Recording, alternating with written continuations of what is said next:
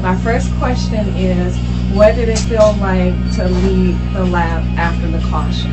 At Talladega. Mm-hmm. Um, it was just you know it worked out for us because of the way that the pit strategy worked out.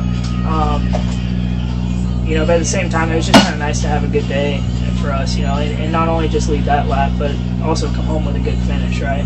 So I mean, I think we still ended up in the top 15, which is great for our team. So um, just to kind of show those guys that we can race with them and, and that we deserve to you know be recognized a little bit. Okay. So we've been at this your sophomore year, second year. Um, do you feel like you've had your defy the doubt moment yet? Uh, I think it's a constantly evolving wheel. You know, for us, you know, um, people don't expect us to really uh, succeed in the sport. I guess a lot because first off, you know, being with a smaller team, but we've also kind of come in. Even working with the smaller teams, we've been the third team of the smaller teams a lot. So um, this 35 team last year didn't really run a whole lot of races, and the races that they did run were, uh, you know, a lot of them were just kind of running the back. So, um, you know, we've been able to take the third teams and kind of turn them into a team that can make the races and consistently run and try to improve. So, um, we, you know, last year did that with the 26, started a fresh team and, and able to get them in the top 36 in points and, and stay there throughout the season. And I think we're doing that again with this season. So, um, that's something that I've seen people try with these teams and haven't been able to really accomplish a whole lot. So, um, to do that's been nice, but at the same time, you know, we always want more. So that's why I say it's always a constantly evolving wheel. So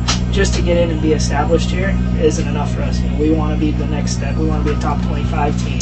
And then if we get there, we want to be a top 20 team. So it's constantly always, uh, you know, people, you know, doubt us and don't think we can do it, but, you know, we're here to prove them wrong. Okay. And this is a question that's kind of to the left, but I'm sure people want to know what is a typical day like for you the day before the race?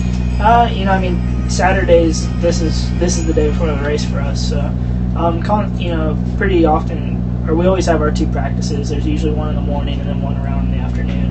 Um, so those two practices, you know, we focus on race trim stuff and really just try to get our cars the best we can and, and where we think we're going to be tomorrow and and kind of take all the best pieces of the practice of what we can and kind of piece that together to try to get our best car we can for Sunday. So uh, pretty much all the practices and all that is constantly trying to be the best we can for Sunday. Um, but also at the same time, usually, you know, I have some small media availabilities that we have to do, whether it be uh, like we were out at the speed stick thing earlier today and um, or just other little stuff. You know, we've had a few little news conference or whatever it was. So there's always constant little stuff that we got to do also. But uh, you know, uh, we do what we can to hopefully keep the speed stick happy. You know, I mean they they sponsor us and allow us to be able to do this, and without them, we couldn't be here. So uh, we'll do whatever we can to you know uh, help promote them and, and give them what they deserve. Okay, last question.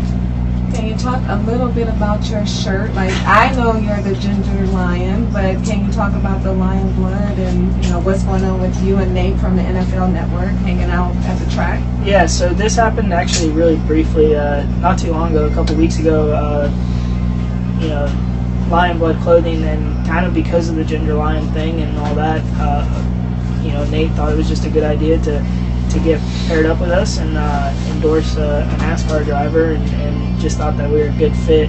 And you know, we really thought we were a good fit together when we talked on the phone. You know, I just I learned that Nate's background coming up through football was uh, kind of the same style the way I've had to come up. You know, uh, work really hard, be with some smaller teams, and, and just constantly put in the grind to, to always try to be better. So, um, just really have a lot of things in common, and I think that that's what allows us to, uh, you know, kind of have a cool partnership.